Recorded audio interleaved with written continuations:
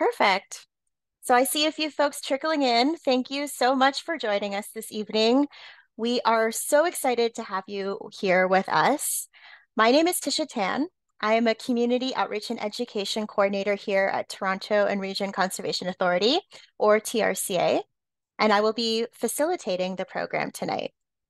Uh, TTP Talks is a free speaker series all about Toronto's urban wilderness, TTP, or Tommy Thompson Park, and as part of TTP Talks, each virtual event that we host will cover a different topic related to the park. So this evening, our talk will be focused on creating habitat for wildlife at Tommy Thompson Park. So thanks again, everyone, for joining us this evening.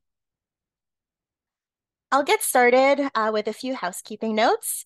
If you are joining the webinar on a mobile device, you can um, swipe between the slide view and the webcam view just by swiping your finger across the screen. So if you can only see my slides, um, if you swipe on your screen, you'll be able to see the webcam of the, the speaker who's speaking.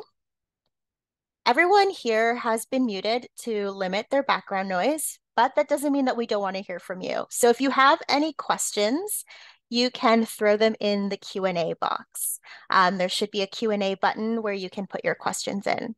We will answer these questions during the live Q&A session at the end of the talks.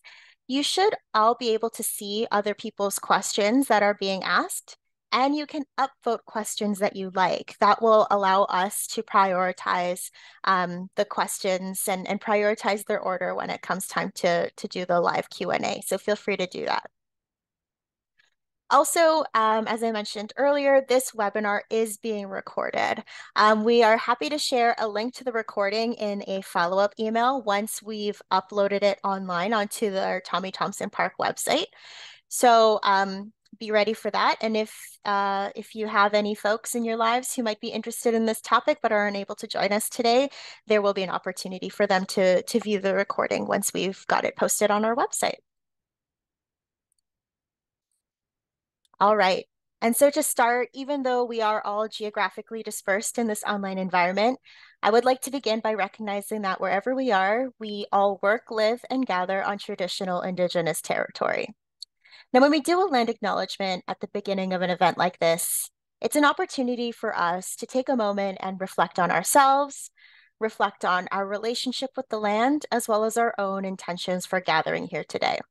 And so I hope we can all take this moment together to reflect on these things.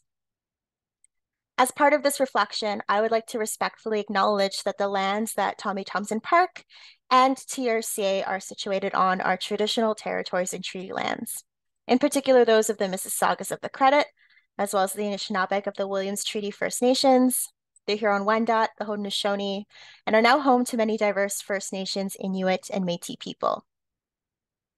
I also want to acknowledge that these lands are also the traditional territories of many non-human living things who have equally been impacted by the arrival of settlers on Turtle Island. We must remember that we share this land and all of its gifts with these living things. And in line with our topic for this evening, um, I hope that we can all reflect on our shared responsibility to give back to the land as much as is being given to us on a regular basis.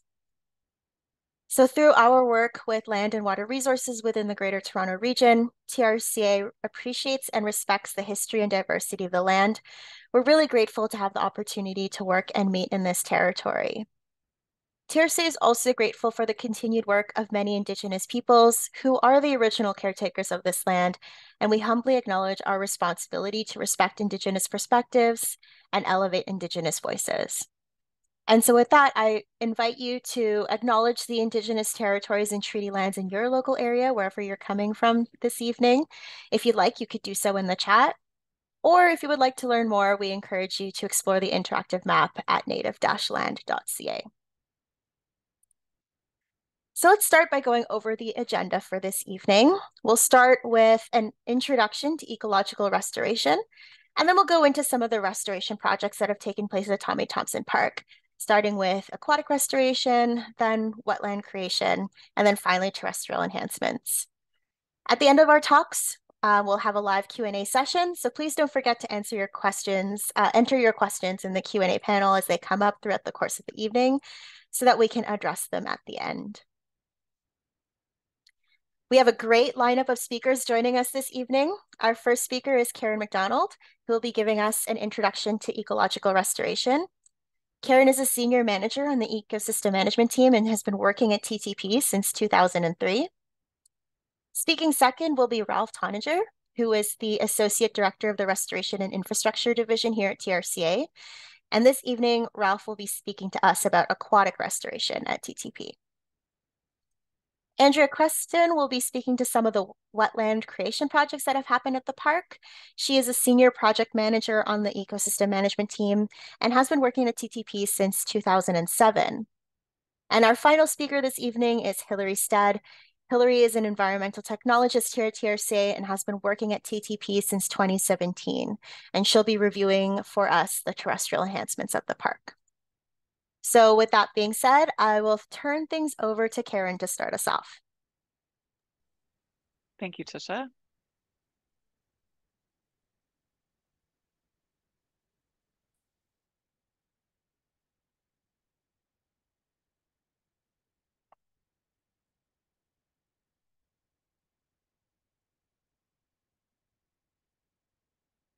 Okay, I've got my screens in order now. Uh, thanks, Tisha. So the importance of ecological restoration. Well, first we need to figure out what ecological restoration is. Restoration is the act of repairing what has been lost so that the system has a positive trajectory, returning it to the way it was or repairing it so that it adapts to a new situation.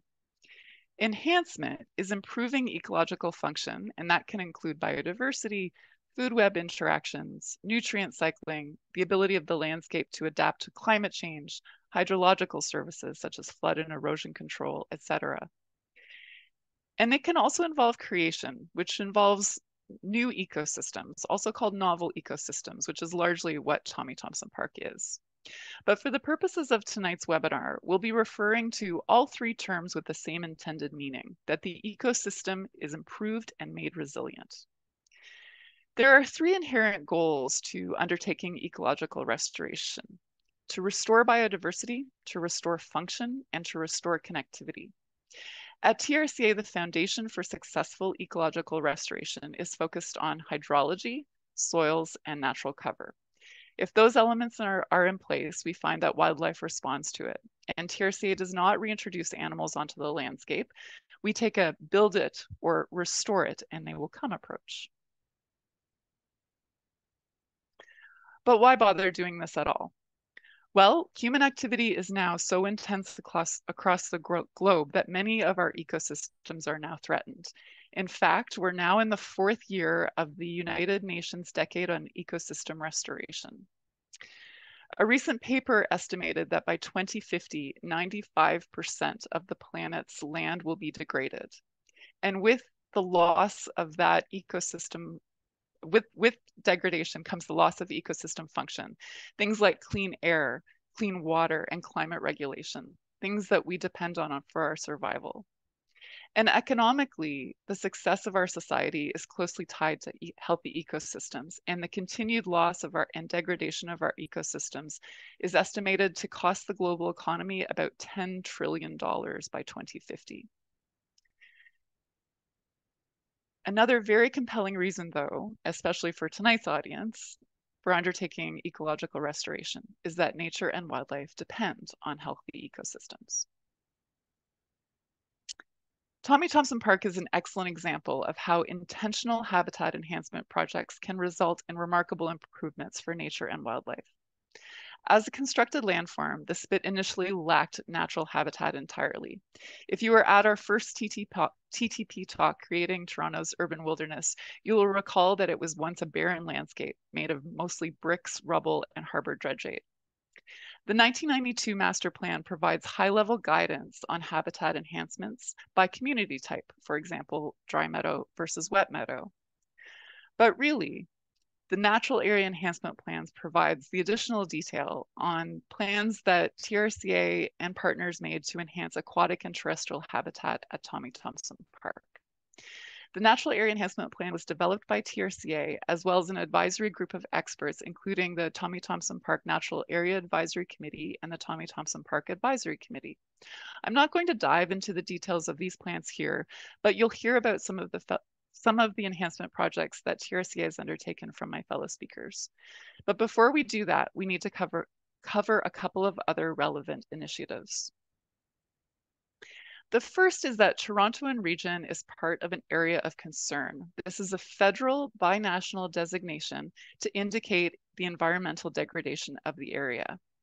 The Toronto and region area of concern extends along the north shoreline of Lake Ontario from the Rouge River all in the east all the way over to Etobicoke Creek in the west. It covers about 2,000 square kilometers and includes six watersheds as well as the Lake Ontario shoreline. The Toronto Region AOC was designated in 1986 because a review of available data indicated that water quality and environmental health were severely degraded. The Toronto and Region Remedial Action Plan was developed, and this lays out actions that can be taken to improve our environment and eventually de delist the AOC. And you can see on the slide some of the improvements that have been made going from 1987 when we had a total of eight beneficial use impairments to now we're down to only five. This is positive. And the reason to mention the Toronto area of concern is because right in the middle of the waterfront is what we like to call a biological center of organization. The Don River watershed, the Portlands, the Toronto Islands, and Tommy Thompson Park are located in the general area of what would have been the historical Ashbridges Bay Marsh. And from the last TTP talk, we know this was also a major waterfront development area, which would have contributed to the degradation of the area. Today, with the imminent completion of the new Lower Don River project, along with the existing great habitat at the Spit and the Toronto Islands, this area of waterfront is positioned to become an incredible success for Toronto's waterfront. And linked to the remedial action plan is the Toronto Waterfront Aquatic Habitat Restoration Strategy, or what we like to call TWARS. TWARS provides practical information to help decision makers, restoration practitioners, and regulatory agencies about aquatic restoration on the waterfront.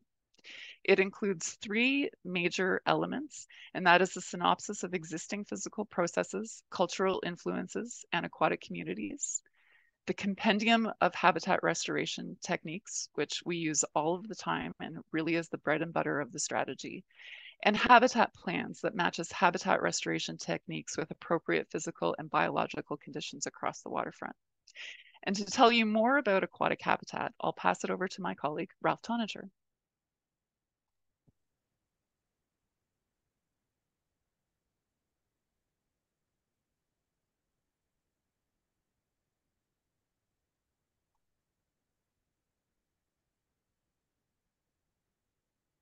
Okay, perfect.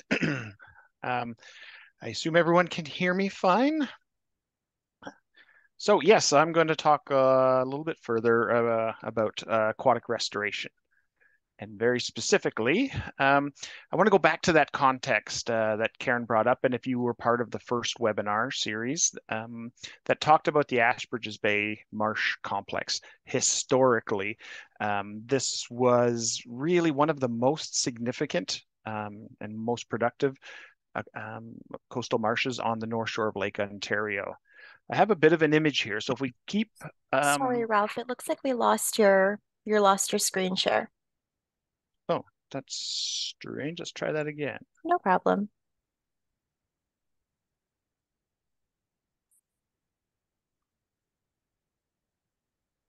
All right, looks good.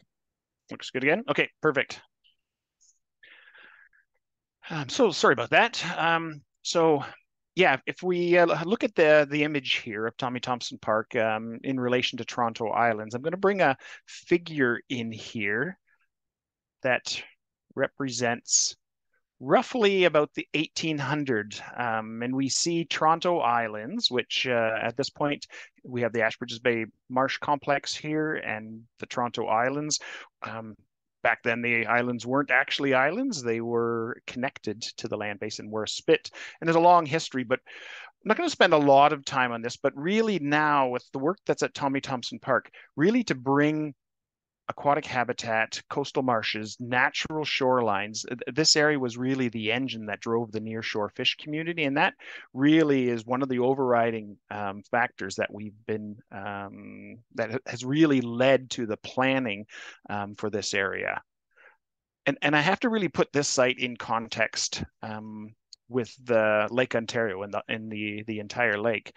Um, lake Ontario is really a giant um, bathtub. Really, it's a fairly you know oval uh, deep water system, and we see we'll zoom into this area here where Toronto is, um, and we will actually um, take a closer look at some of the unique features of the Toronto area. So here we have a shot of the spit um, and the Toronto Islands area here.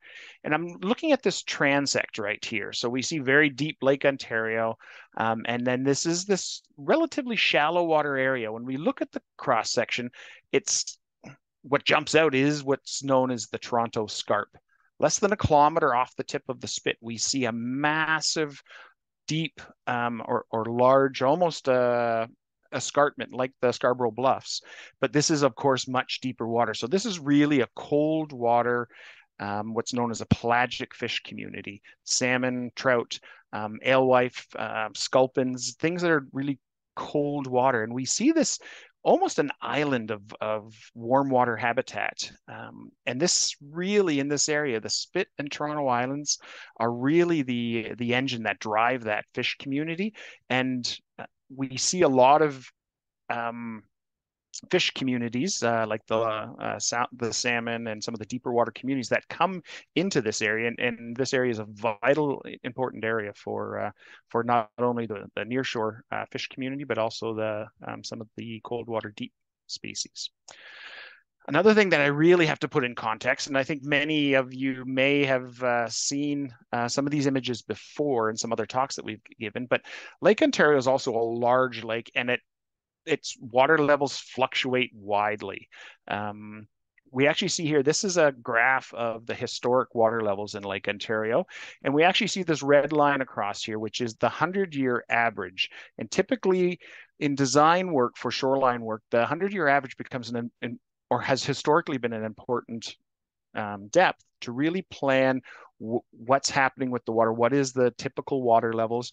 But we do see um, water levels greatly uh, fluctuate up and down. But the one unique feature is because of really low levels in the um, roughly the 1930s, and then again in the late 50s and early 60s, um, which really drive shipping to a halt because of those low water levels, points where the, the sh ships couldn't even go through the channels. That in 1960, they completed the Cornwall Dam, which really stopped um, these low water levels. We now control water levels in Lake Ontario, and we still see a lot of flexibility or a lot of variability. But what we don't see are the lows, and it's really the lo- the lows that have destroyed our habitat, and and is what we really need to restore essentially aquatic vegetation or emergent vegetation from the shoreline. And, and that's the thing that we're always having to battle. Um, and Karen sort of brought up that idea of are we restoring or are we creating or, or are these novel ecosystems?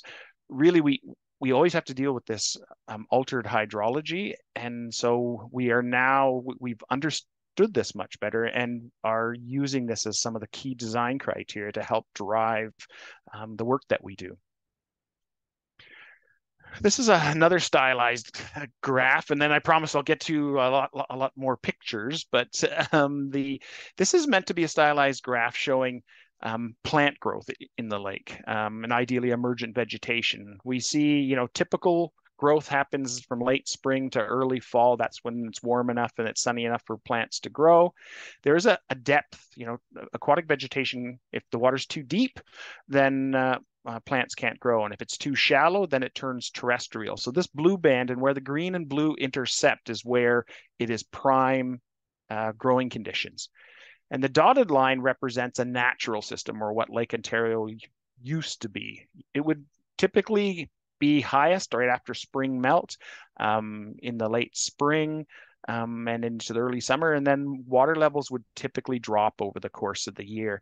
And really, then this area here, this prime growing area, over the course of the year, you would see more and more um, um, land exposed to growth, and we had tons of growth.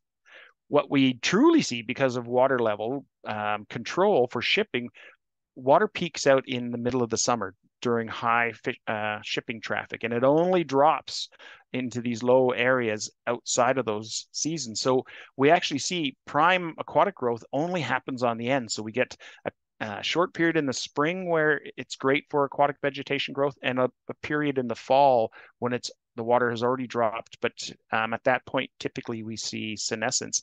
And we really have to think about this as we design and plan our shorelines um, because uh, as we've learned aquatic vegetation is truly the key to the success of our uh, of the work that we do.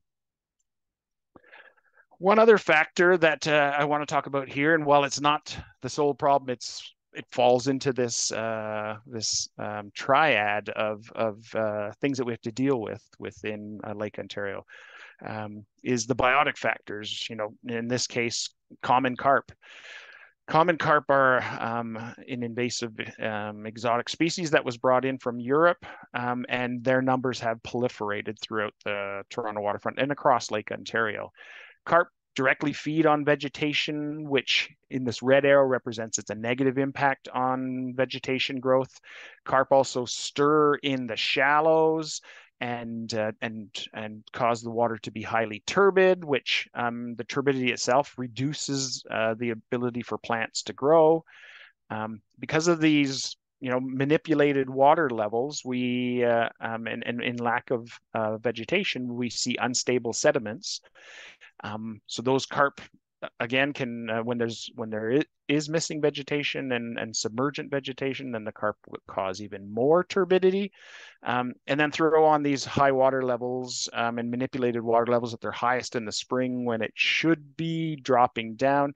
All of this um, works together to really again be another strike against aquatic vegetation and it's something that we really need to keep in mind um, as we we do this work. And you see the video that's uh, playing here um, you know these are common carp trying to go into our cell one wetland um, and we see massive biomasses uh, or a, a, massive biomass of common carp here trying to um, um, get into that wetland through their their bioturbation and through their their their just physical um, consumption of the vegetation, um, we, we we it was really limiting vegetation and and uh, by by excluding them from these areas we've seen a proliferation of of, uh, of the vegetation. We're actually even seeing reduced reproduction or reduced recruitment in uh, carp populations and they're naturally dropping in those areas as well so um, we'll get into some of the projects and things here. As Karen um, highlighted, we you know uh, spent a lot of time in the mid uh, 2000s, um, really targeting um, you know through our we had our uh,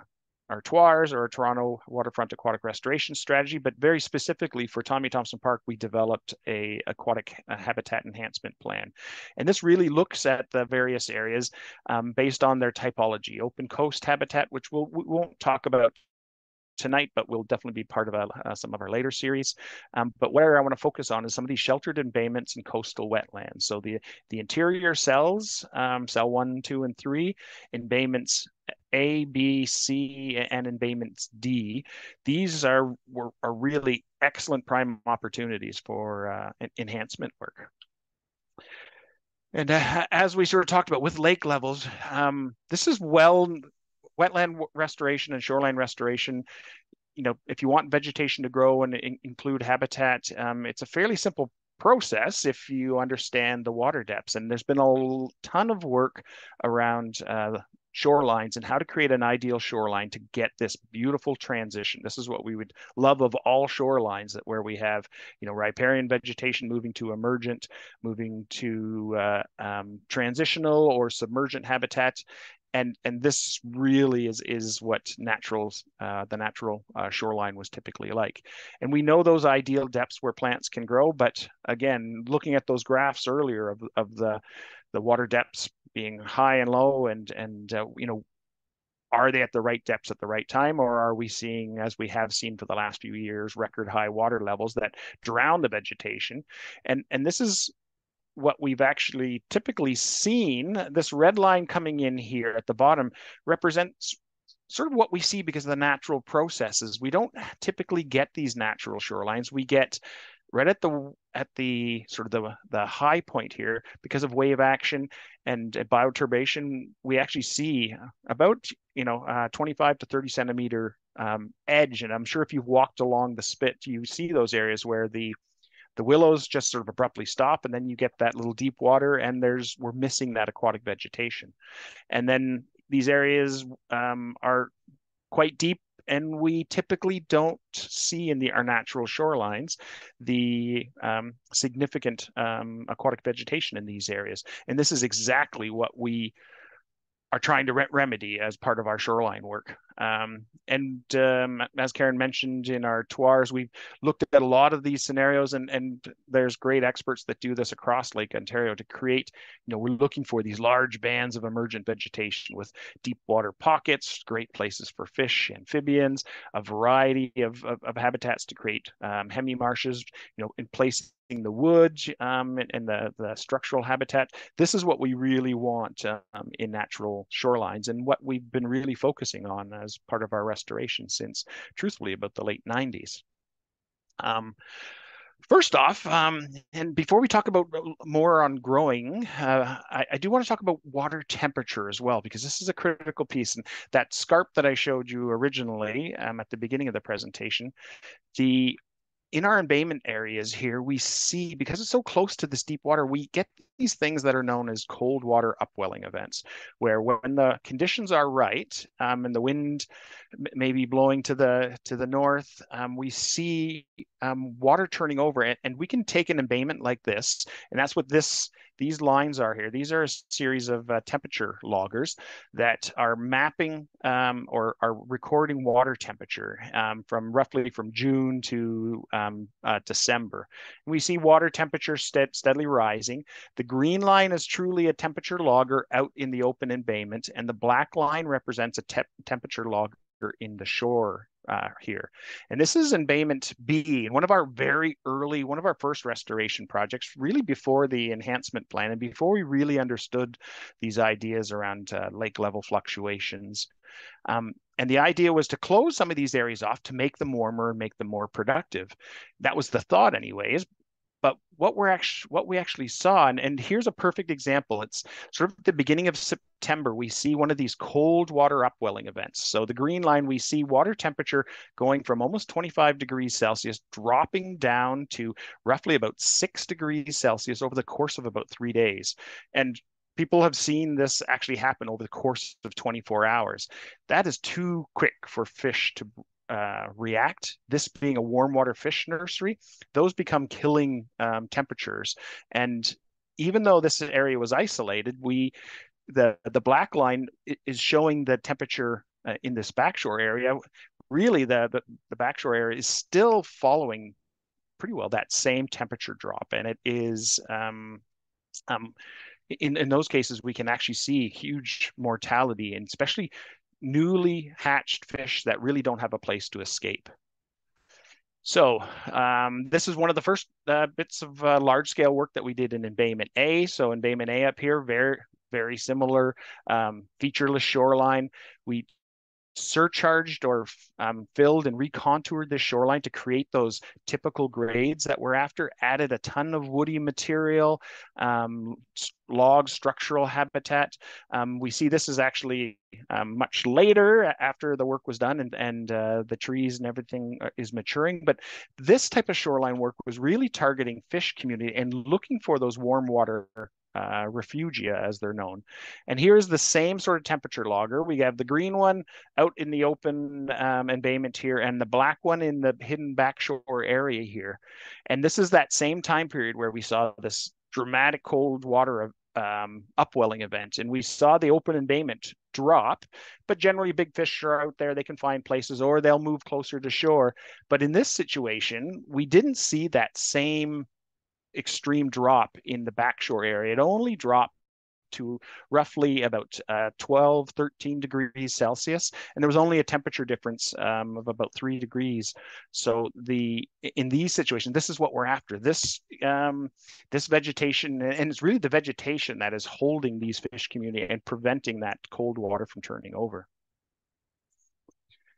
Um, this applies to um, embayment D as well. And uh, I'm just going to finish up with embayment D and then lead this into the coastal wetlands um, discussion component. Embayment D is this what looked like an ideal embayment, perfect depth um, between um, uh, half a meter to at, at places um, more than a, a meter. but for years and years and almost 30 years this has been prime for aquatic vegetation growth but we've never seen more than a little perimeter of vegetation or, or um, around the edge. And you see this aerial shot here this should be just completely growing and it just never had. We tried planting it we tried uh, uh, quadrats to um, exclude um, carp which we knew were very dominant in this scenario but we ultimately came up with our embayment D uh, um, coastal wetland design, which we were really turning this sheltered embayment shoreline into more of a coastal marsh habitat. Um, isolating it uh, with a berm and uh, one of those fish and water level control structures, a series of barrier islands that we had always hoped could be potentially colonial waterbird habitat, but also a variety of structural fish habitat and deeper water habitat around the outsides. And then with some contouring the inside to really create those uh, situations. We implemented uh, this work in partnership with, uh, at the time, the Toronto Port Authority, now Ports Toronto, and truthfully, um, it has surpassed our greatest expectation. Um, these same areas, just by isolating this work uh, and and controlling fish access, we've seen a proliferation of not only emergent but submergent habitat. And I'm sure for anybody that goes down there, the the the fish and wildlife habitat that have uh, benefited from this um, are truly impressive. A bit of a shot of uh, one of our staff actually that's a fisherman and caught uh, this northern pike right off the outside where we created pike habitat specifically targeting that species. Um, unfortunately, beavers have also found this place very attractive, and we have been struggling a little bit with uh, um, the beaver clog clogging up our our uh, carp gate and our, our fishway here, a shot here of of the beaver completely damming it up. Um, they seem to be able to move more earth than our, our heavy heavy equipment uh, operators.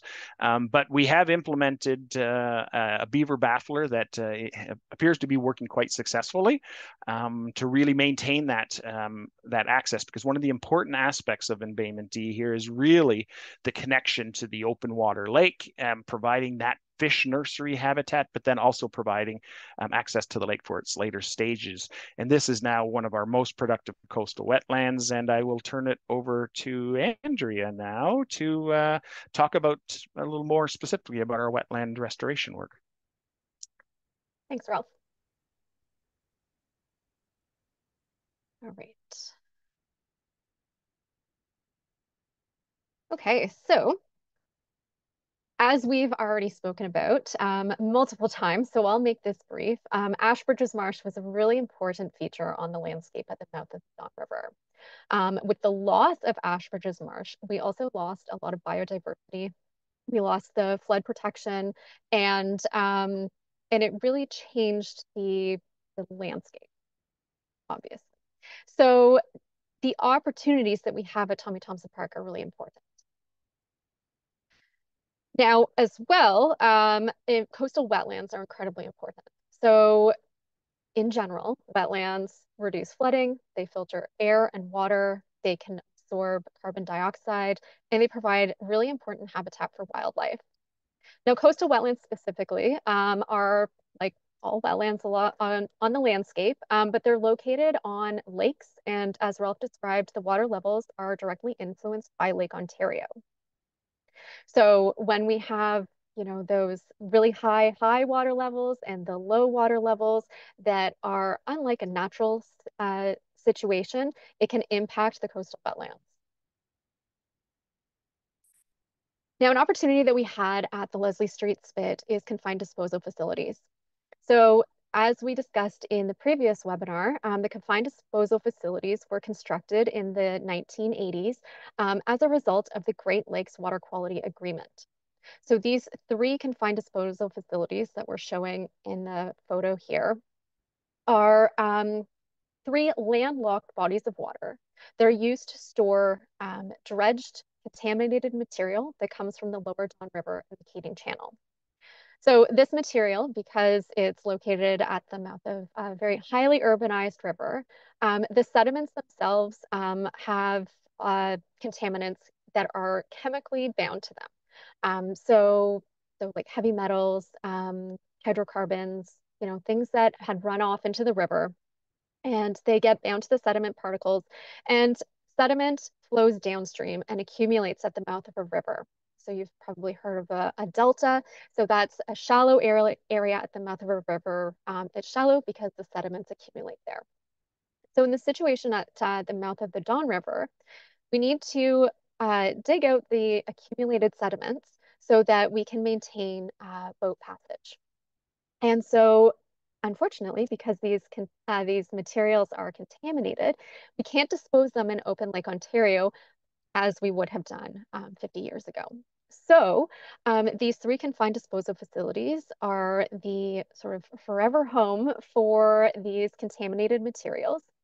So we have cell one, which was the first one to be filled um, at the very uh, north end of the park. And my laser pointer, this one up here. Um, it was filled to capacity in 1985. Cell two is slightly larger and was filled to capacity in 1992, I believe. And cell three is this bigger cell down here. Um, it's uh, double the size of the other two um, uh, confined disposal facilities. And it is still an active confined disposal facility. Um, so you'll notice uh, sometimes when you come visit the park in the summer, the pedestrian bridge might not be available for pedestrian use. And that's because that's the sort of doorway for the um, for the barge and tug to get into cell three to dispose the of the sediments. So these sediments are sort of contained within these water bodies and they're going to stay there forever. Now, they when the filling um, happens, it's done to a uniform depth. So this doesn't provide ideal habitat for fish. Um, there's also um, very little aquatic vegetation. The shorelines are very, very steep. Uh, they're rocky, rubbly, um, but they drop directly into the confined disposal facility. And there's no in-water structure. Um, so there's there's really very little um, habitat available for fish and wildlife in these uh, in these confined disposal facilities.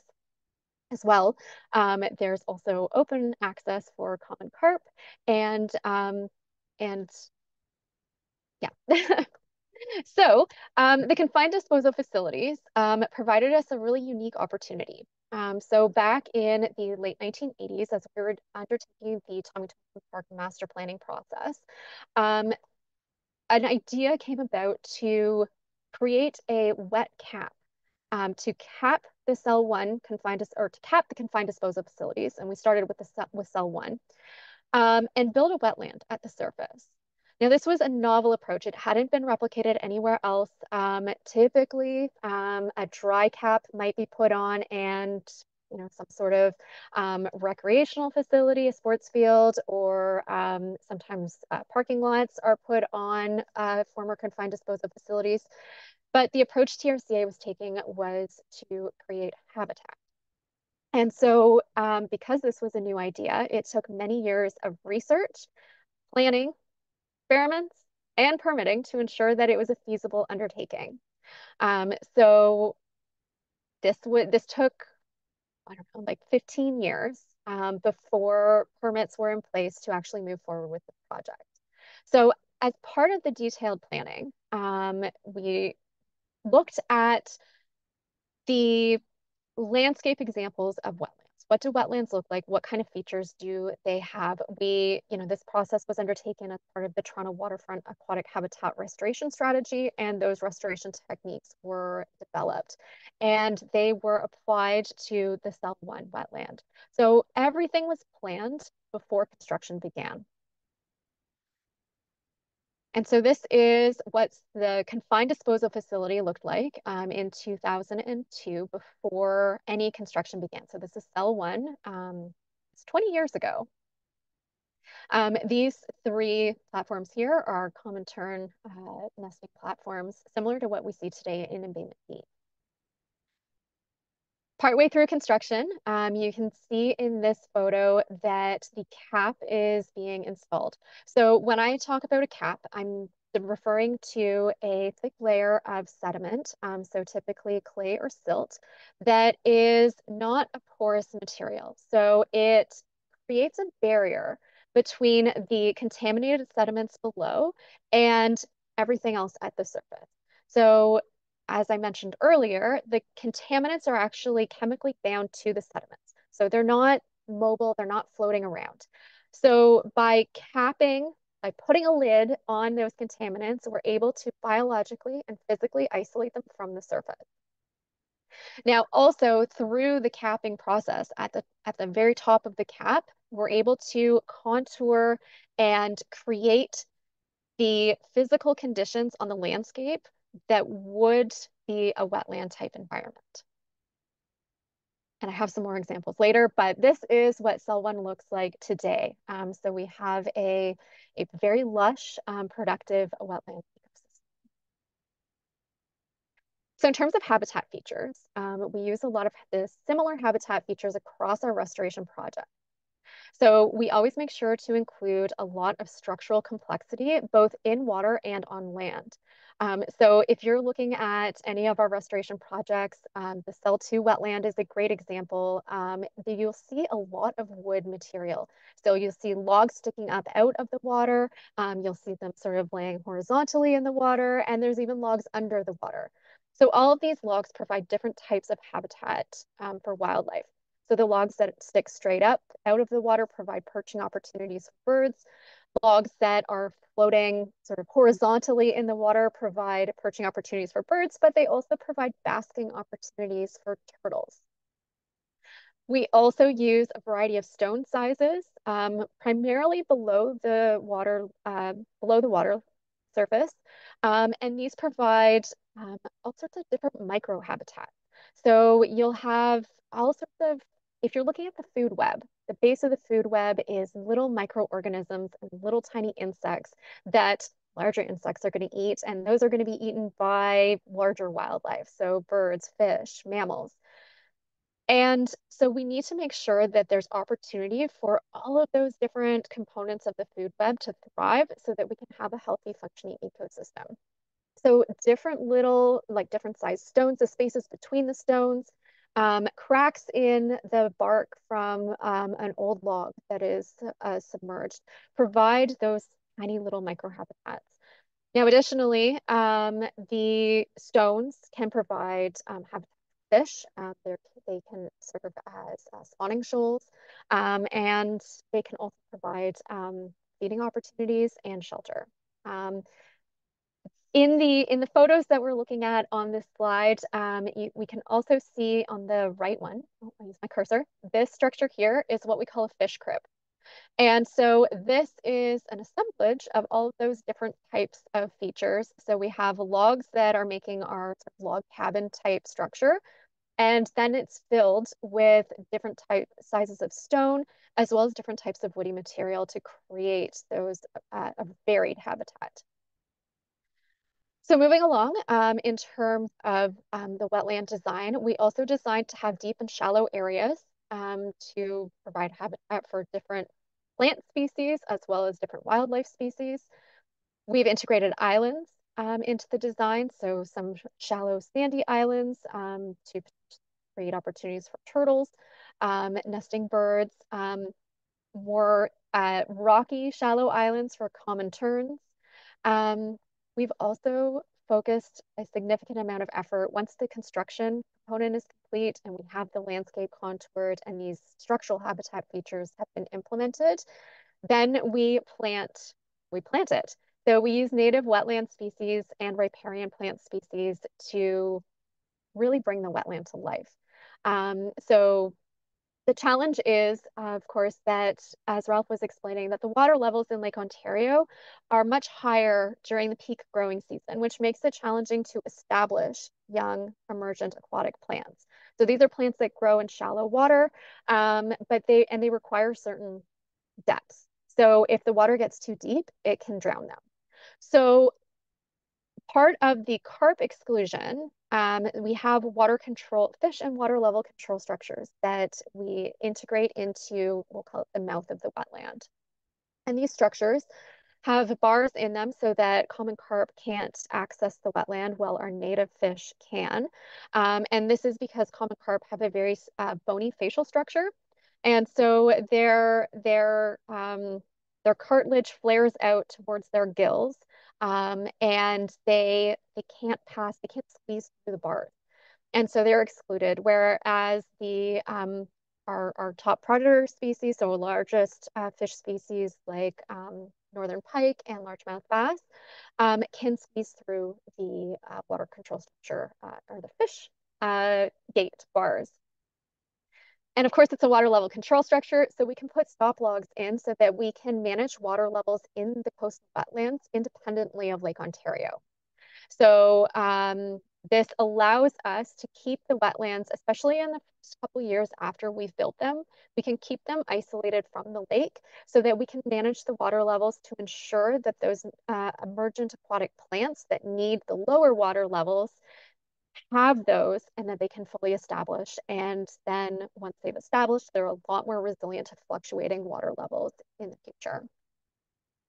Um, and then another thing that we install, um, because of course there's it's a it's a blank canvas when we start, um, we install nest boxes. And so we target on uh, sort of on the aquatic side of things. Um, you may see uh, wood duck boxes in, in some of the wetlands. And so the intention behind these boxes is to uh, compensate for the lack of old growth trees. Um, as I said, it's a brand new blank canvas. So although we've planted trees and shrubs that will eventually grow large and provide cavities for cavity nesting species, when the wetland is brand new, we don't have those. Those trees are, are just a couple years old and are, are quite small. So um, providing opportunities for a variety of species is the name of the game. Now, we won't get into too much detail. Cell 2, the Cell 2 wetland is immediately south of the Cell 1 wetland. Um, we constructed this wetland about 10 years after the Cell 1 wetland was completed. Um, and we had learned um, some really important lessons and some additional science had been um, conducted uh, in the water, uh, along the waterfront, um, sort of between the completion of Cell 1 and the beginning of construction Cell 2. So we made a few design um, modifications uh, to the Cell 2 wetland. In this northeast area, um, we've added uh, it's it's much shallower in this area so that we can have a lot of continuous um, emergent aquatic vegetation. And when I say emergent aquatic vegetation, I'm talking about things like cattails, bulrushes, um, and, and those sorts of plants. So the tall, tall plants that you see growing in the wetlands at Tommy Thompson Park. We also, um, and this is the monitoring that happened on the waterfront, there was a lot of fish monitoring that happened in like around 2010. And results from the, this study indicated that there were fish um, that like to overwinter in the cells at Tommy Thompson Park in really deep pockets. And so with that knowledge, we were able to um, incorporate deep areas and some connectivity between the deep between the deep areas um, so that fish have the opportunity to um, survive and overwinter in these wetlands. We've also included an amphibian pond up in the northwest corner of the wetland. And so this is an isolated body of water um, so that there's essentially there's no fish in this wetland, which provides a safe refuge for amphibians to breed as the fish aren't eating their eggs after they've been laid. And of course, um, we included a significant amount of structural habitat now I'm just going to flip through um, a series of Google Earth images. Um, this is cell, uh, cell 2, and this is in October of 2014, um, just before we started the restoration project. By May 5th, 2015, um, we've begun the um, filling process. So we've closed off this section of the wetland and we're, we're creating more sections so that we can put the cap in place and fill it. And here it is May 22nd. So we're making a lot of progress. July 10th of 2015, um, we've got more access cells and you can see the cap is being placed in all of these areas. Uh, November 7th, 2015, we're still making progress. And in some of, it's a little bit hard to see with the cloud cover, um, but here is maybe a good example. Um, you can see some lower depression. So this is where we were simultaneously, at, as soon as the cap was placed, we were uh, grading and creating the habitat conditions. And here we are in December of 2015. And we were pretty much complete by April of 2016. At this point, cell two is hydrologically isolated from cell one um, so that we could do we could place the cap without disturbing the wetland habitat in cell one. And September 2021, it's a functioning wetland. Um, still in the process of establishing vegetation. It takes many, many years for the aquatic vegetation to establish, not to mention the extremely high water levels we had in 2017 and 2019, um, which required constant pumping to try and keep the, the water levels in cell two much lower than, than the lake that year. Um, now, quick side-by-side -side shot, pre and post restoration. Well, not fully post, we're still in the process of establishing vegetation. But... And I just wanted to touch upon um, our aquatic planting. Um, so anyone who's visited the park and has seen our wetland creation projects or a, I guess, a recent restoration project that we've undertaken will notice a significant amount of fencing in the wetlands. And we have to put the fencing up to protect the plants when we plant them. So as you can see in this photo here, the plants are really small and they're quite delicate um, when, when we plant them. Um, and this without protection is essentially a buffet for waterfowl. Um, so if we were to plant um, plants, a couple hundred plants in a day and leave it unfenced, at the end of the day, the ducks are going to come over and they're going to eat the plants and, and the plants won't survive. Because when they're this young, they need the opportunity to um, grow roots and grow stronger shoots before they're resilient to herbivory or being eaten by wildlife. So we fence them off um, to exclude um, waterfowl from, from the nodes, and we keep the fencing up for a couple years until those plants have established. So establishing means growing a really substantial root system below the surf, below in the uh, in the sediment, and uh, and also producing a seed bank. Um, so it'll take a couple years for plants to drop seed, and we need the seed bank so that um, so that plants can regenerate. Now, we've also been, in terms of the plants, um, we've been subjected to some challenges um, in our wetland restoration projects. Um, a big challenge is invasive species. And so we've managed, uh, we've successfully managed Phragmites, or we're still in the process of, of, keeping it under control, but we've made some excellent progress with managing uh, Phragmites australis, or common reed, um, in our wetlands. Um, and purple loosestrife is another one. Um, it was quite prevalent in the early 2000s, um, but there is a biological control. Um, it's a beetle, and it usually keeps the population sort of in balance. Um, and but in the past couple of years, we've seen a resurgence in purple loosestrife, um, and so we have. Uh, we're we're releasing we released some uh, beetle larvae last year um, to to sort of push back that population and allow the native vegetation to um, to reestablish and uh, and provide a healthy uh, system. Now, I'm not touching upon our Phragmites management today. Um, we will touch upon that in a future webinar.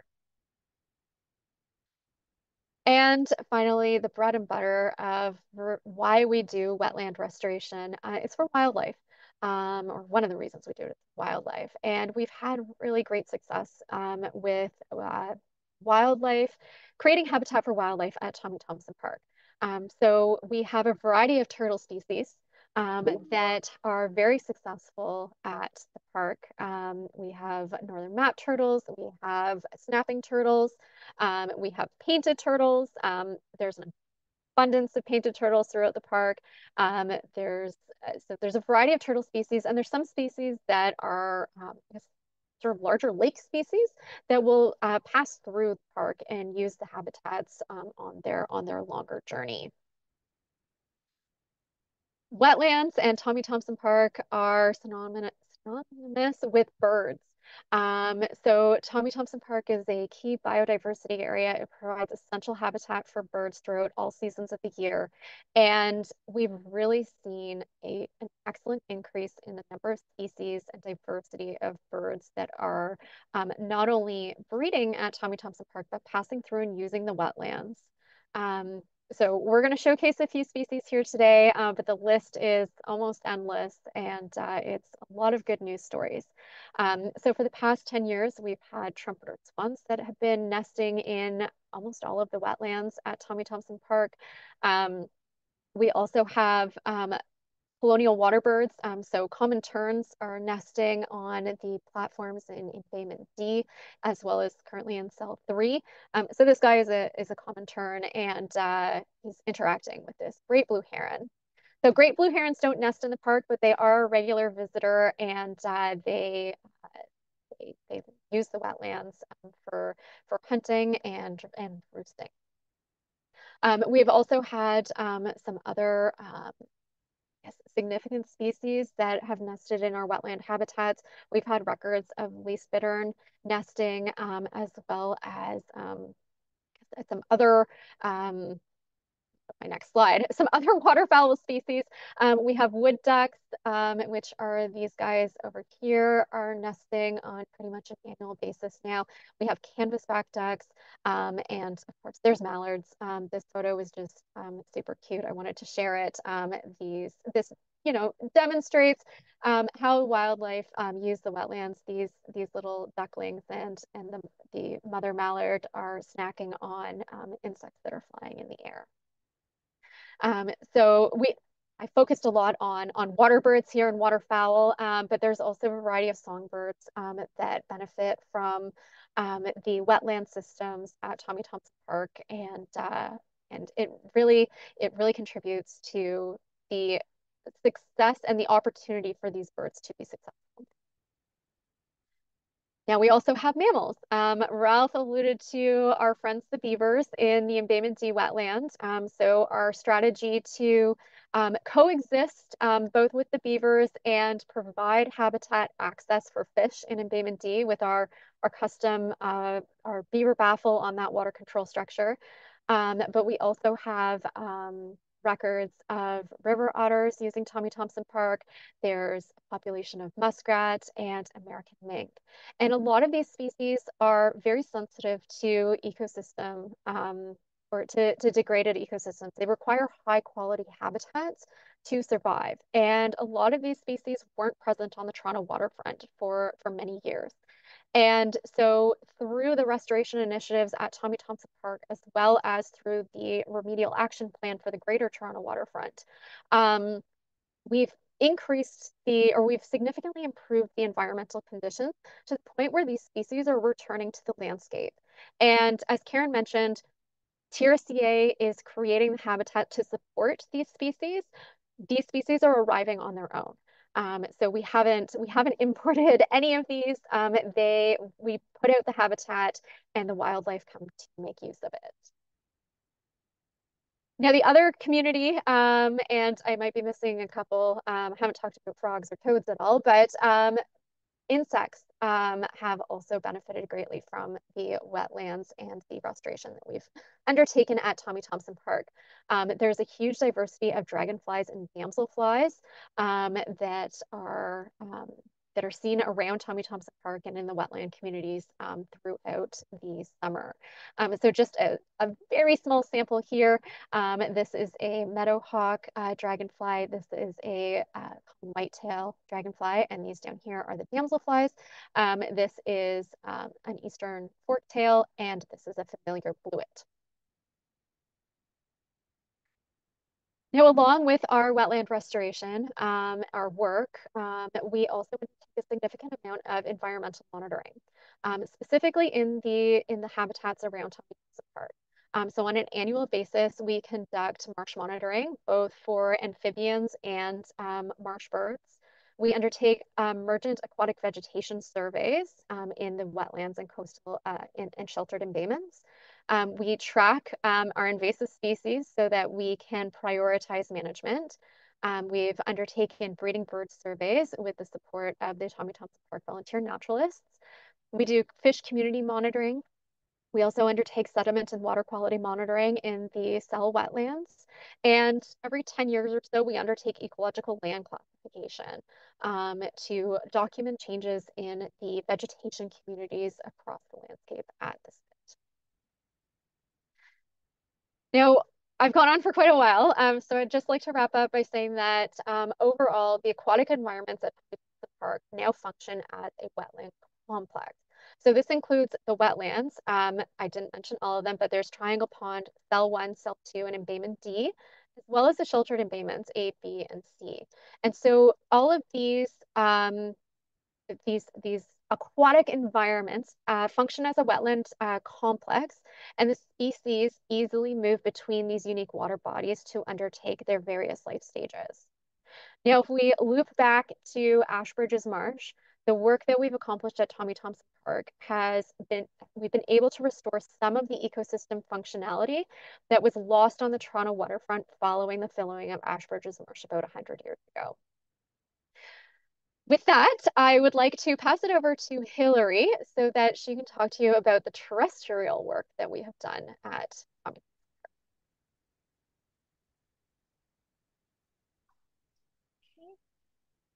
Great, thanks, Andrea. All right, so we've learned a lot about um, the aquatic habitats of the park, but I'm going to talk to you about terrestrial habitat now. So terrestrial simply just means on land. And terrestrial habitat restoration at the park has focused primarily on protection, enhancement, and re rehabilitation um, of meadows, shrublands, and successional forests so far. And something to note is the habitat type or terrestrial habitat type of the park is very dependent on the materials that were used in specific locations during the construction. So for example, the sandy, silty peninsulas of the park support the forest habitat. However, trees struggle a bit more to grow in areas where um, construction material like brick and rubble were used for the construction. Um, in terms of restoring, enhancing, or creating habitat or terrestrial habitat at the park, a variety of restoration techniques have been used, including landform alteration, drainage design, soil conditioning, and then, as Andrea mentioned, uh, we actually go in and plant um, to create diverse communities and diverse ecosystems. So to date, over 30 hectares of terrestrial habitat have been enhanced at, at TTP, and over 400,000 stems have been planted. And this includes trees, shrubs, wildflowers, and grasses, and the aquatics that Andrea mentioned are also included in this statistic. Um, we try really hard, or we we insist on choosing species that will not only grow and thrive in the harsh conditions of the park, um, just based on the the base of that they're trying to grow in, but also species that are native and typical to the area or typically should be growing in this area historically. So white pines are an example. So why is terrestrial habitat so important? Terrestrial habitat provides um, many benefits to us and the wildlife that use it.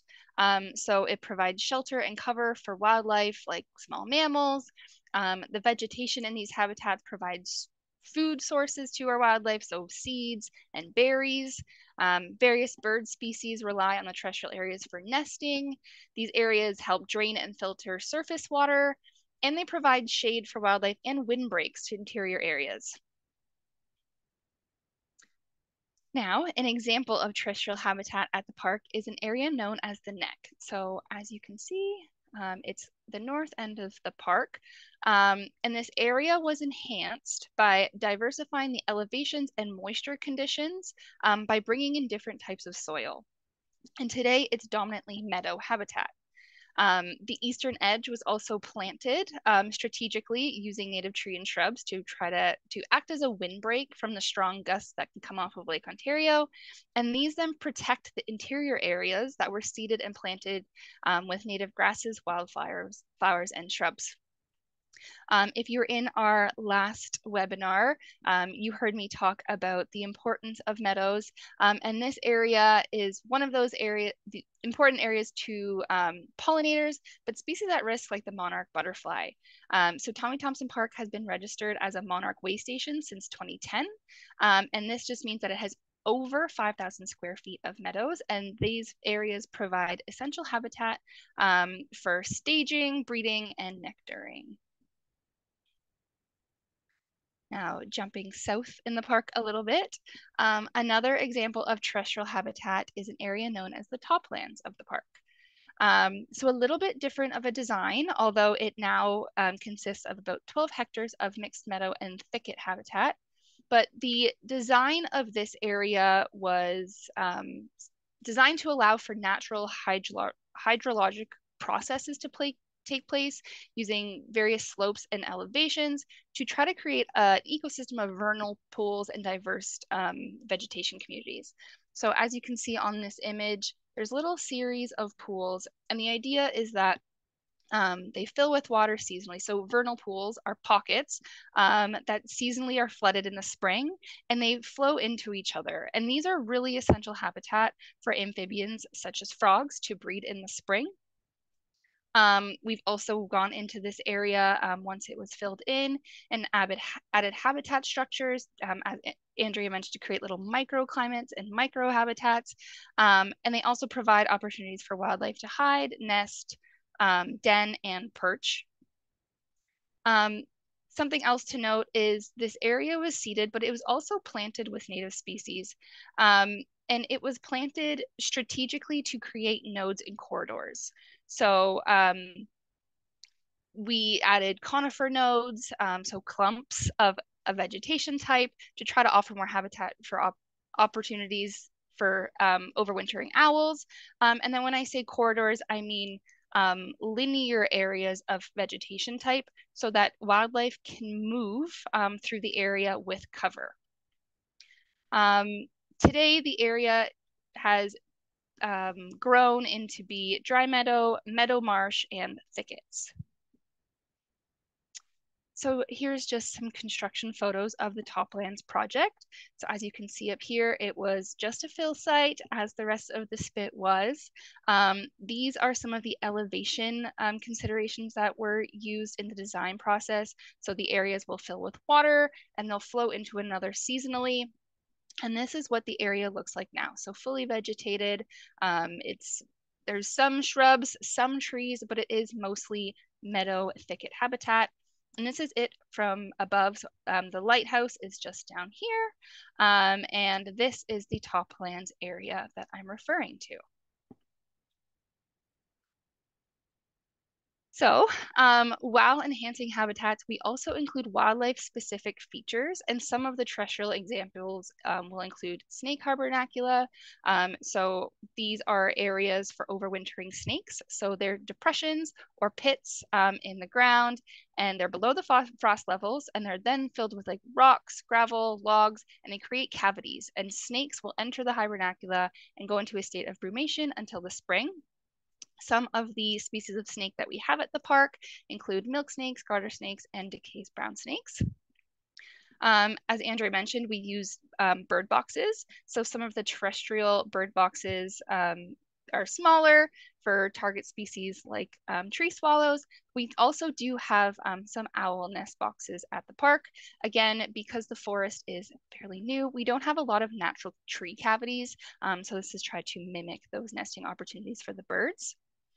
Um, in relation to that, we also have three roosting boxes for bats at the park. Um, so same thing, um, bats will roost in tree cavities, but we don't have those yet.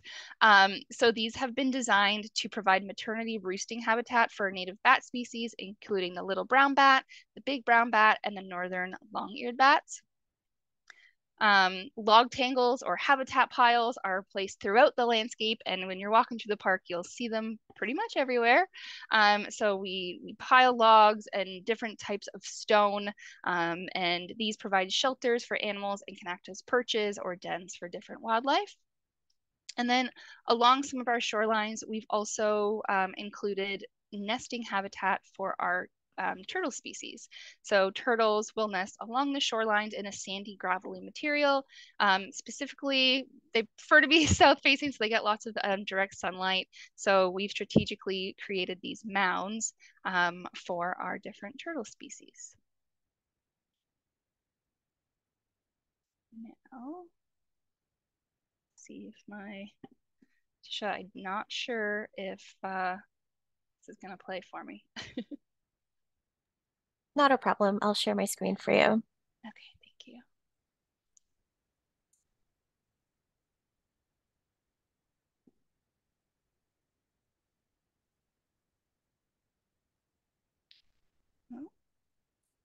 Okay, should be playing. Okay, thank you. Um, so just to summarize, um, along with our partners, TRCA has invested over $7 million in habitat creation and enhancement projects at Tommy Thompson Park since 1995. And as we've discussed today, this includes over 40 hectares of aquatic habitat um, through the sheltered embayments and wetland restoration, as well as over 30 hectares of terrestrial habitat through meadow, shrubland, and forest enhancement projects. So thanks to all this work, coupled with natural succession, Tommy Thompson Park has developed into a globally significant key biodiversity area and an environmentally significant area that supports a variety of wildlife species, including species at risk. And with that, I will pass it over to Tisha. Great. Thank you so much, um, Hillary. And and thanks everyone um, to all like a significant thank you to all of our speakers for sharing their knowledge with us today it's one thing to you know attend a talk to learn about some of these um, really cool restoration projects but it's totally another thing to hear from you know such a skilled panel of, of experts who've been so involved in these projects at tommy thompson park a park that is so special to so many of us. So thank you again to all of our speakers for sharing their expertise with us this evening with that being said, we've reached the Q&A portion of our agenda this evening. Um, so if anyone has any other questions that they would like to ask our speakers, please feel free to put them in the Q&A panel. I also do have the chat open as well. So if any questions sneak in through there, um, I'll be able to, to pass them along.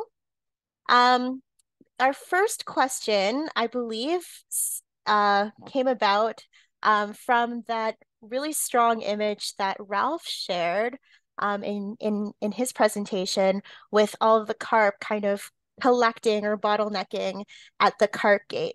And so James would like to know if um, that collection of carp bottlenecked at the carp um, gate is used or leveraged as an opportunity to remove them uh, perfect, great. uh, thanks for the question. Um, we do actually work closely with the Ministry of Natural Resources and Forestry, and uh, also a number of other angling groups um, in the past. So there's a few things that are going on with carp. We are not capturing them um, at at those points, um, but the um, the Ministry of Natural Resources at other locations are doing or have been doing that in the past um, and and doing uh, removals. Truthfully, it seems like a massive amount of carp, but it's a drop in the bucket compared to what's actually out in the lake. Um, the Ministry of Natural Resources and and also some of the local angling groups have also been um, promoting um, a carp fishery, um, and uh, actually, it's quite common now to see people fishing for carp um, as a method to uh, um, um, continue to remove them. But um, what we found is those large volumes were there in the early years, but we don't see those numbers as much uh, now because carp try to return to the place they were born, and now that carp are being excluded, uh, we don't see those large masses like we did in the early years. I would imagine if we did see some of those large masses, the park would be swarmed with carp anglers. So easy pickings there. Thanks for thanks for that thoughtful answer, Ralph. Um, another question has come through in the Q&A, um, and, and maybe I'll direct this towards Andrea. How long until the final cell of the confined disposal facility is filled to capacity? So I believe this is in reference to cell three. So cell three is significantly larger than uh, both cell one and cell two. Um, so at this point, there's still several decades worth of capacity um, at current uh, dredging rates. Um, so we don't anticipate um, that it will be converted to a wetland anytime soon.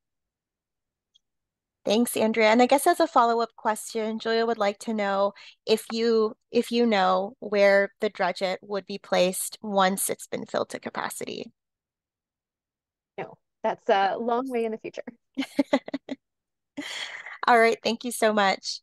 Um, there's a question here I think is is um it's a really thoughtful question. Is the mild winter that we're experiencing currently, plus the lack of ice, plus the low water level of concern at the park?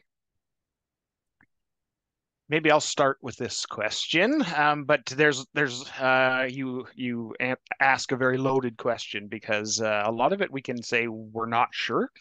Um, but um, going back to our points, one of the key issues is is uh, we put a lot of thought and effort and worked with all of our partners around the the the work, and we this idea of like uh, Andrea summed up, you know, it's a wetland complex. It's not one project. It's not one bird box. It's not um, that they all function together, and, and we're trying to create functional systems that will be resilient and have um, you know uh, where there's where there's refuges, where there is alternate habitat. So our, our primary uh, thing is we're hoping to build habitats that make them naturally resistant to these um, these oddities, because uh, you know high and low levels have always been part of of nature. Um, you can go species by species. Generally, low snow cover and and uh, um, is is bad for a lot of uh, things that are um, um, nesting um, or overwintering at ground level. Uh, small mammals, you know, uh, meadow voles, a variety of things like that snow cover and need that, that what's actually called a sub subnivean layer, that area where the snow touches the uh, um, the um, the ground. Um, it also, eh, when you get cold snaps, then you get really heavy frost that can freeze the ground and cause um, winter kill of some of our um, um, young plants and even uh, um, uh, creatures that are attempting to overwinter.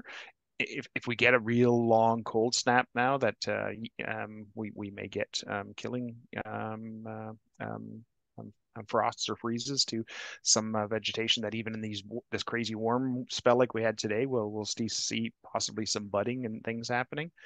Um, and in many cases, um, ice, low ice cover in some of the embayments and some of the small pockets are not always a bad thing for fish um, because it does allow for better um, oxygen um, transfer between the air and the water.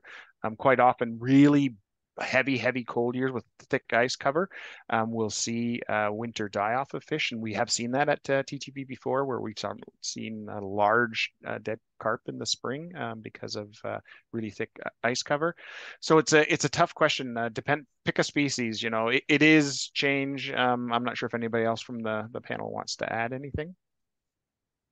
I'll jump in, Ralph. Um, I think this question is coming to people that have a lot of climate change anxiety. And so, yes, it, it makes me nervous about things. But one of the things you mentioned, Ralph, that is actually a positive in many cases is um, whenever we get those really cold temperatures like minus 20, minus 30, those are killing temperatures for some species that we actually don't want around. And so um, things like um, a spongy moth, for example, uh, that really uh, can decimate our, our, our forests for a period of time. Um, when we get cold temperatures, they, they end up killing those eggs off. And when we get these mild winters, that makes, um, you know, folks like me and my team that deal with invasive species much more nervous about what's coming up. Yeah, I'm sure our staff would be happy if we had, um, if the ticks got knocked back with some really cold winters as well. Thank you, Ralph and Karen, for for answering that loaded question. And you know, as a follow up, um, there's a there's a there's a question here related to that about how how resilient is the current state of Tommy Thompson Park to these climate change questions or or effects. I know Karen, you'd alluded to you know that maybe these questions are coming from a, a place of eco anxiety, um, but to your point earlier, Ralph, you were talking about how, and actually all all of you were talking about how these these projects are are meant to build resilience in Tommy Thompson Park. So maybe let's put a positive spin on things and discuss how we feel about the resiliency of of Tommy Thompson Park due to these these um, projects. And I, I think I'll open the floor to all of you to to share your input. I can I can start. Um, I'd like to draw attention to the flooding years. Um, so 2017 and 2019 when we saw record high water levels in Lake Ontario. Um, so there was extreme flooding, um, both at you know Toronto Island Park uh, experienced uh, significant flooding, um, but any location at Tommy Thompson Park that where the land was at an elevation lower than what the water level was at was submerged. Um, so essentially all the peninsulas um, were underwater for a period of, it was about three months. And so at the time, we were quite concerned about the vegetation communities, the terrestrial vegetation communities, um, these tree species that know, probably not tolerant to water um, or standing water for that uh, period of time. And so we watched closely to see what happened um, post flooding. And I think the results were promising. Um, the native tree and shrub species are thriving. Um, and the, the biggest impacts that we've seen, um, and it's quite noticeable in Peninsula D, is um, the impact of the water levels to uh, the European birch. Um, there was a significant amount of European birch growing on Peninsula D, um, and it did not tolerate the uh, the water, the high water levels at all. And pretty much every single European birch that was subjected to flooding conditions um, has died. Um, so to the point where you know we're monitoring it closely to ensure that we don't have hazard trees um, along the trails on Peninsula D. Um, so it's changed the canopy a lot, but that is like in terms of the ecology, I'd say that was one of the only major impacts that we saw following the the high water levels. Anyone else have anything to add to that? The only thing that I might add further, is uh, um, as a result of those high water levels, uh, the shorelines that um, really don't have those natural um, gradients and some of the shorelines that we haven't yet implemented works um, really we, we saw a lot more uh, of that erosion um, you know some of those areas along the um, the tip of uh, um, embayment or peninsula d and and we, we um, where, where we don't have um, some of uh, those natural um, in- environments. And again, uh, yeah, I think that, like we sort of said with our earlier question, the um, um, if we knew today as we were building this this uh, landmass, um, or if we were building this today with the knowledge um, that we have today, we would build this very differently because uh, um, these shorelines were built to dispose of uh, rubble material and um, for, originally uh, for some potential, um, um, you know, uh, or for the some of the aquatic uh, uses that the the way those shorelines were put in place, uh, we didn't understand those larger lake processes, um, and uh, um, I think there's still a lot of work to do to make this site more resilient, particularly with uh, you know these record high water levels. And um, we we didn't sort of mention, but that in the shot that's on the screen there, that those that uh, eastern um, shoreline get some of the largest wave action in all of uh, Lake Ontario because it has some of the largest fetch. Um, and there are definitely some areas that still need work. Thanks so much, Ralph, and thanks, Andrea, for for sharing that.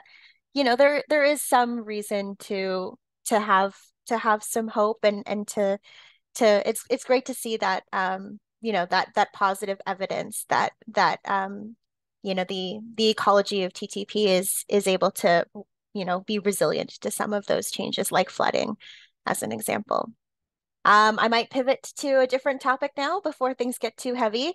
Um, there's a question here about turtle hatching at Tommy Thompson Park. So Hillary, did you want to um, share some of your experiences with with turtles hatching at the park? Yeah, so we don't have um, specific turtle, turtle hatching events. Um, what we do have to monitor turtles is we have a volunteer program where um, a team of volunteers will go to the park at different times and just monitor, monitor turtle nesting. Um, so volunteers will um, patrol areas that we know there's um, an abundance of turtle species. Um, and if they see a turtle nesting, um, they actually will put a turtle nest protector structure on top um, to protect the nest from predation so that hopefully um, they can, uh, can hatch successfully. Um, so we do have that turtle program going on, but in, ter- in, in terms of an actual hatching event, not specifically. Uh, all right. Thanks so much, Hillary. So yeah, if you if you're interested in getting involved in that um, volunteer opportunity, I think you can reach out to um, our our general TTP website or uh, email address to to learn more. And I'll have that those details uh, in a follow up email as well as on the next slide. Um, there's a question here from Vicky. Are there any plans to expand the landmass in future? And I might throw this over to Karen to answer for us. Well, there actually is, Vicki, and um, in the next year or so, um, stay tuned for another public information center that we will be hosting with our partners at the City of Toronto and Toronto Water to talk about the new Ashbridges Bay landform that has been created sort of adjacent to and a little bit in front of Tommy Thompson Park. Most of that land mass is going toward Toronto water infrastructure, but actually about two hectares is going to be officially moved into Tommy Thompson Park. And we're going to be having a public meeting to talk about that land and uh, the restoration and the trail alignment on there. So stay tuned later this year. That's great news. Thanks so much, Karen. Um, and then I think this might be our last question for the evening from a familiar name. Um, Brian wants to know, is there still enough surplus concrete rubble available to maintain the exterior shorelines? And I'll throw this over to Ralph to answer for us. Perfect. And uh, leave it up to our old boss to answer the, or ask the tough questions. And uh, and for the uh, sake of some of our, our other uh, participants tonight, I, I, would single out our question from Brian, our past CEO of T- TRCA and and part of TRCA for 30 years, um, and definitely um, we wouldn't be here talking about Tommy Thompson Park if it wasn't for some of the leadership work that uh, people had a long time ago before uh, we were all part um, of, of, this. But um, great question. Um, truth is that the climate has completely changed. We compete for rubble nowadays. Um, and we feel bad at times because uh, the rubble recycling, one of the largest rubble recycling plants, is literally across the road um, and uh, um, on uh, on Unwin Avenue, and um, we we have seen a massive drop in the amount of rubble. Um, a similar project, the Lakeview project that we worked with uh, Credit Valley Conservation Authority, um, in uh, right at the edge of our jurisdiction. Um, we when we built that landform with Credit Valley, there was such a shortage of rubble. We had to be very creative in what we used for shoreline material, and we actually um, did do a scenario where we used a lot more um, softer sediments um, behind sort of a rubble wall. Um, so we are in the process of uh, we've been working with our partners, uh, doing a lot of study on this shoreline to um, understand the final um, um, design of, of this. Um, but currently there is not rubble being dumped on this site um, and um, there truthfully wouldn't be enough. We really want to look at um, some of the novel approaches, um, some real exciting work that we've done with uh, over at uh, Gibraltar Point, looking at offshore reefs to help in the, the final shoreline protection of this. Um, but yeah, I hope that sort of answers your question, uh, Brian. And uh, um, if we can find some, uh, you know, send it our way, please. All right, thanks so much, Ralph. And with that final call to action, um, I just want to say thank you again so much to everyone who joined us this evening. If you have any follow-up questions um, that you'd like uh, to send our way, you can direct them to ttp at trca.ca. Also, a reminder to keep an eye on your inbox for a follow-up email. Um, our follow-up email will contain a link to the recording once it's been uploaded that you can share with anyone who may have missed this evening's webinar. And we'll also include a short feedback survey. I also want to mention that we'll likely include some information on how you can support similar projects happening at Tommy Thompson Park right now some of the amazing things that were highlighted by our speakers today are only made possible because of funding, grants, and donations from folks like you. And so I hope you feel inspired to contribute to this important work. Um, with that being said, um, this wraps up our evening. Our next Tommy Thompson Park um, webinar or TTP talk will be happening later this spring on April 30th and the topic will be all about birds. Um, birds are a really important part of the ecosystem at TTP, and we're excited to dive a little bit deeper on that topic at our next webinar. So keep an eye on the Tommy Thompson Park website for more details, and we hope to see you at our next TTP Talks. Thanks so much, everyone, and have a great evening. Bye, everyone. Thank you, everyone.